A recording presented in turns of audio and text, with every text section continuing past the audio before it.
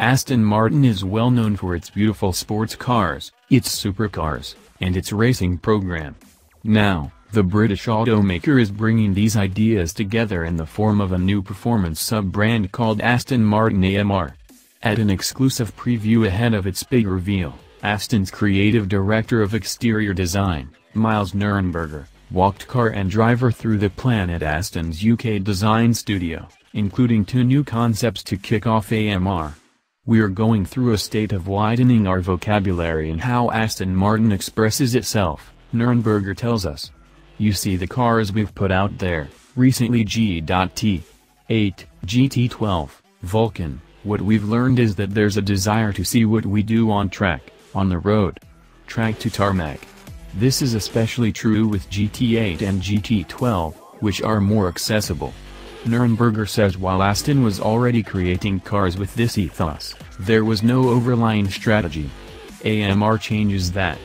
Aston CEO Andy Palmer has confirmed that every core model in Aston's lineup will receive a production AMR version. Palmer says the GT8 and GT12 demonstrated that some Aston loyalists love raw, race-bred models, but we also knew there was an opportunity to create cars that offer a sharper performance focus but stop short of those truly hardcore, special series models.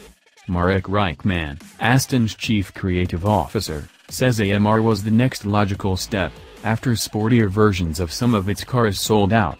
Each time we have pushed the boundaries and done something extreme, the customers have loved the cars. Reichman sees AMR as an opportunity to dial up the sporting DNA and make a statement using GT race car technology for the road. They will be special and rare cars that are credible, thrilling to drive, and hugely desirable to own.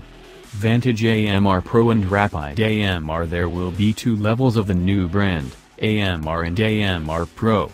Pro models will be more aggressive and more focused, with additional lightweighting, carbon fiber and wide-body treatments, and new aerodynamics worked into the car. Aston's stand at this year's Geneva show is an impressive sight with its forthcoming Valkyrie Hypercar, an aerodynamic wonder formerly known as the AMR B001, and the new Vantage AMR Pro and Rapide AMR concepts, all wearing AMR's signature Stirling green color with neon green accents.